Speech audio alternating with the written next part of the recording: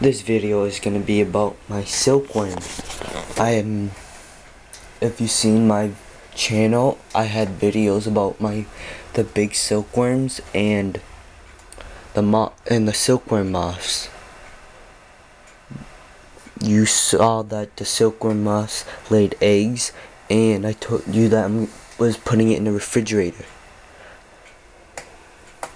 It is May 26th, Memorial Day, and I looked into the contain this. Well, the eggs hatched yesterday, and I did a video on it, but it wasn't that good, so I'm doing another video.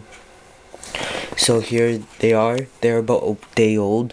There was actually today, this morning, or last night, there were actually silkworms, some more silkworms hatched from their eggs. So let me just pop open the container.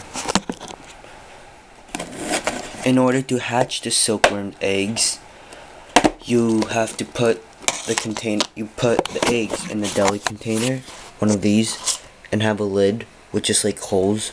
I have four four holes.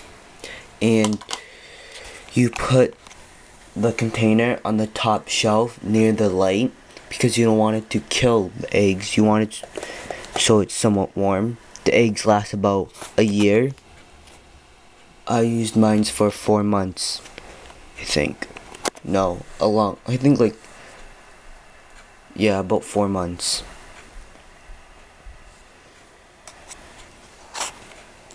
Sorry, this is, it's hard to see them, but they're really small.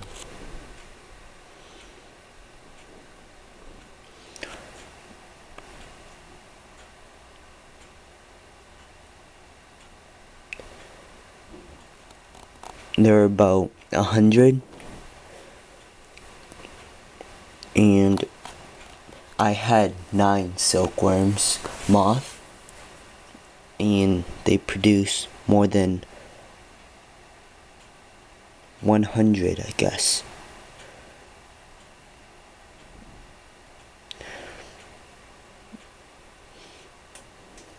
As you can see let me show you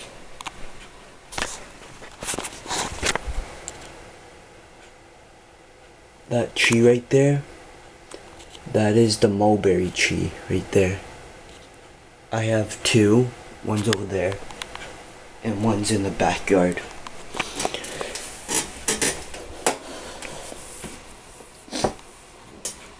I kept the silkworms on top of my fish tank over there, and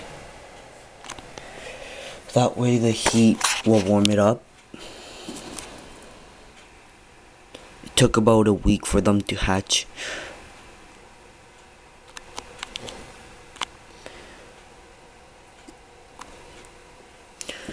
So um, subscribe and I'll update on I'll do updates on the silkworms.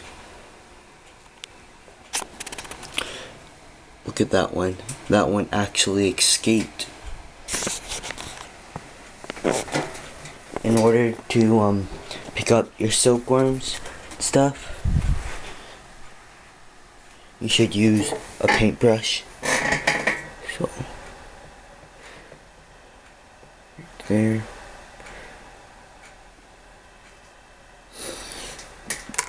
And that's it.